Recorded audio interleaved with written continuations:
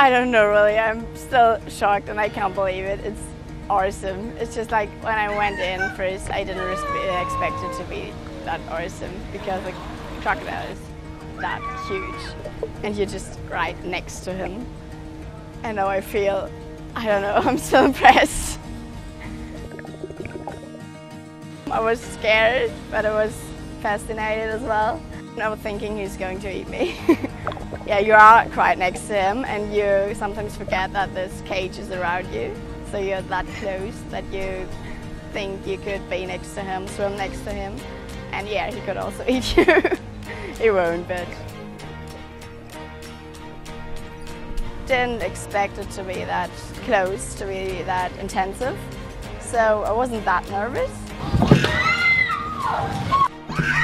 But when we got into the water straight next to him, I started to be very nervous.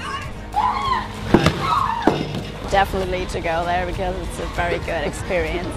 If they have the chance to get into the cage, then they should definitely do that. Just because of you would never get the chance of being that close to that dangerous animal again. So it was amazing. Yeah. So I can't believe it.